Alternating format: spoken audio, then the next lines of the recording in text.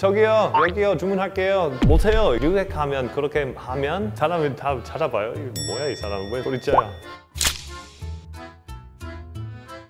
hello 미국에서 온 제이슨입니다. 반갑습니다. 제가 한국에 온 지 8년 6개월 됐습니다. 거의 9년 됐습니다. 한국에서는 편한 시스템 많이 만들어서 아직도 적응되지 않은 거 있어요. 너무 좋아서 믿을 수 없는데 그거 속도예요. 그래서 오늘 바로 바로 놀라운 한국의 속도에 대해 얘기해 보도록 하겠습니다. 첫 번째는 병원입니다. 한국은 병원 가야 된다면 바로 가서 예약 없이 할 수 있으니까 놀랐어요. 미국은 만약에 감기 걸리면 전화하고 예약 하고 1주, 2주 후에 병원 갈 수 있어요. 그때까지 기다리면 다 나요, 빨리.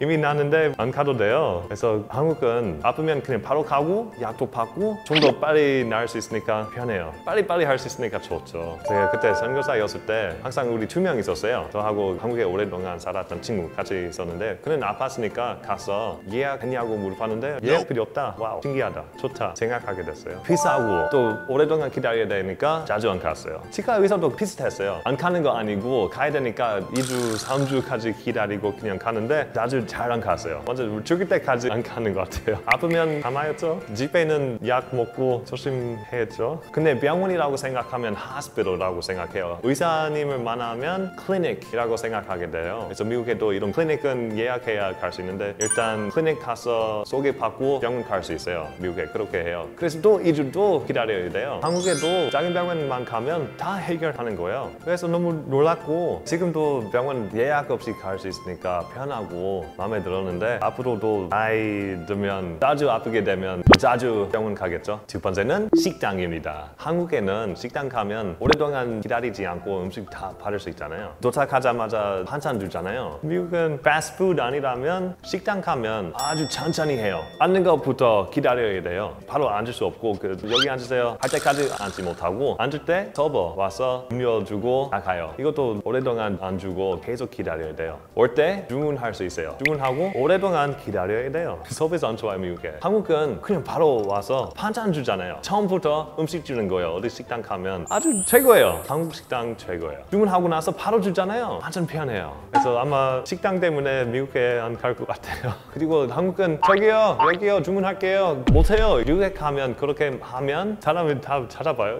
뭐야 이 사람 왜 소리쳐요? 이쪽으로 오기를 원하면 어떻게 하냐면 눈을 맞아야 그렇게 해야 돼요. 그것도 기다리는 시간이잖아요. 한국은 벨이잖아요. 벨만 있으면 와요 바로. 최고예요 한국에.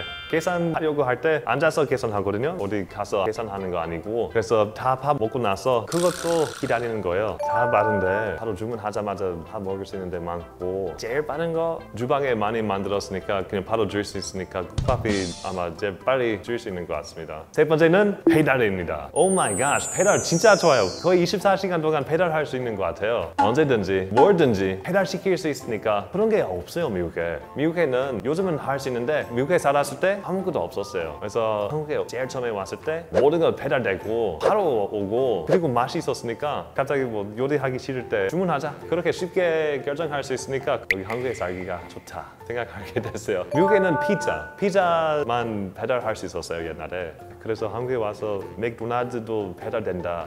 wow. 왜 맥도날드 주문하지? 근데 할 수 있으니까 저도 해요. 네 번째 마지막은 택배. 택배는 이런 말 할게요. 오늘 주문하면 내일 받을 수 있다. 이런 게 미국 에 없습니다. 미국에는 일주 동안 기다려야 받을 수 있는데 한국은 그 다음 아침에 받을 수 있으니까 생활이 좋아요. 편해요. 미국이었으면 돈 많이 내야지 그 다음날 받을 수 있어요. 돈 낭비인 것 같아요. 한국은 밤 10시까지 주문하면 내일 아침까지 받을 수 있다는 거 놀랐어요. 인터넷에서 엄청 많이 구매해요. 우리 집에서 쿠키나 빵을 많이 만들거든요. 요리할 수 있는 것도 주문할 수 있으니까 그것도 편하고 이거 필요하나 생각하면 하루 백만 하면 살 수 있으니까 신기해요. 아니면 우리 애기도 낳거든요. 100일 됐어요 우리 애기. 두 번째 애기가 또 필요하면 진짜 그 다음날 와요. 놀랐습니다 완전.